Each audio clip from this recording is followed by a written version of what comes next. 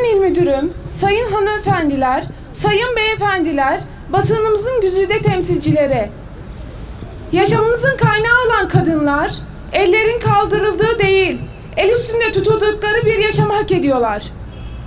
Birleşmiş Milletler'in 1999 yılında kararı ile 25 Kasım kadına yönelik şiddete karşı Uluslararası Mücadele Günleri olarak anılmaktadır.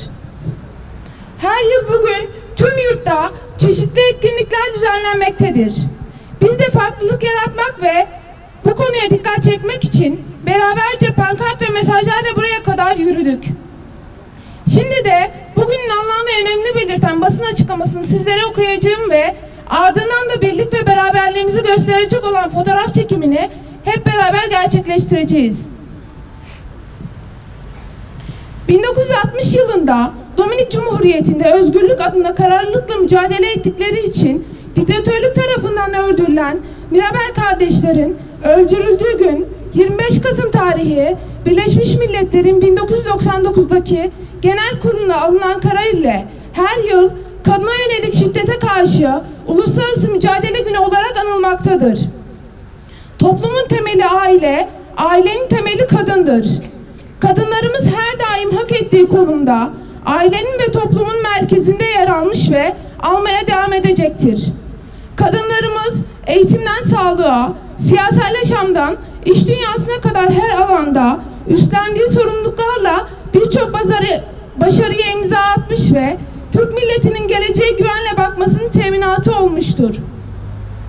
Ancak ulusal ve uluslararası tüm gelişmelere rağmen kadına yönelik şiddet tüm dünyada günümüze taşınan en önemli sorunlar arasında yer almaktadır.